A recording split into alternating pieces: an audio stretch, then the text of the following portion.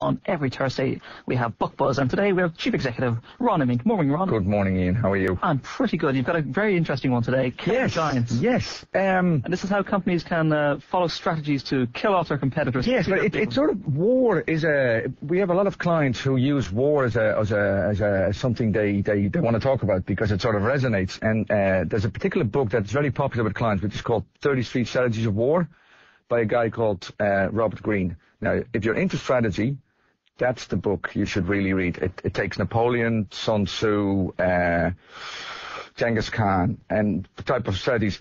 And then we came across this book. It's called Killing Giants, and it's sort of a uh, Robert Greene light or a 2.0 version of 33 strategies of uh, of war. Now, it's very interesting because if you look at, at the Irish situation, and let's just, uh, we're beating each other up because we're going through a really tough time. But every SME that has survived the last two to three years is a lean, mean fighting machine.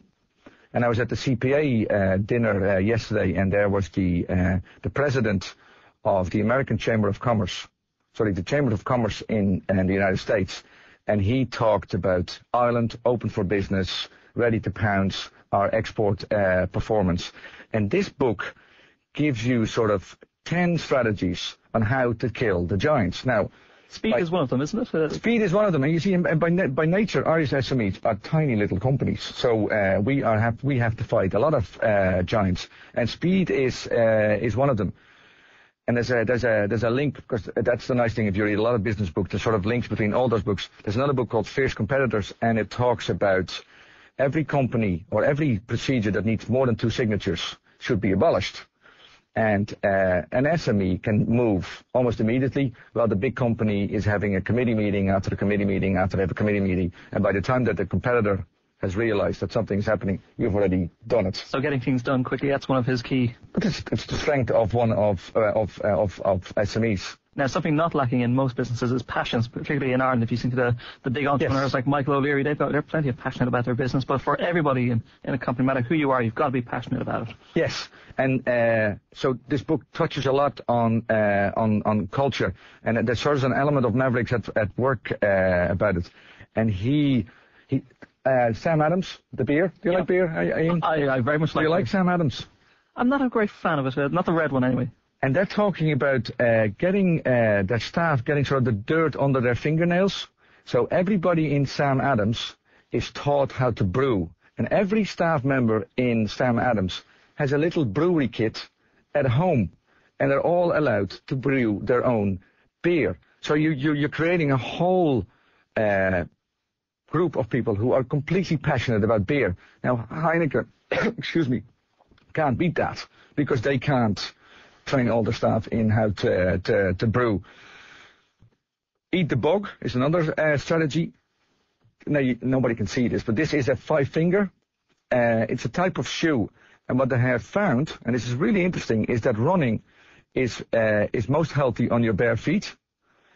And a company called um, Vibram came up with uh, a concept called Five Fingers, which is literally you're, you're almost you're walking bare, bare feet. Like a flip flop, isn't it? Now you're not doing justice to the to the shoe, but it, it's a because I'm a runner and uh, they're fantastic, but they're extremely ugly.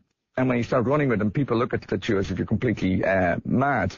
Now an Adidas or a Nike will never be be capable of introducing this type of shoe because it would be admitting that their design is fundamentally flawed, and it is.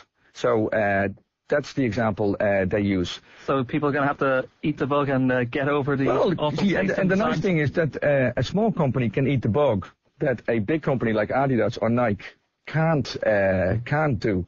He uses the example. Now it's not a small company, but uh, in the United States they introduced the Mini, which is about polarizing. And rather than uh, because Americans like big big cars, as we all know, and they on purpose highlight the small, the tiny size of the of the Mini, and that worked uh, extremely well.